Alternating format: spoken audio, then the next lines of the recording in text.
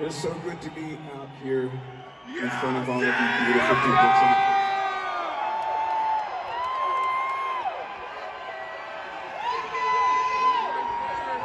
This is a song off of our last record, Dystopia. This song is called The Threat is Real.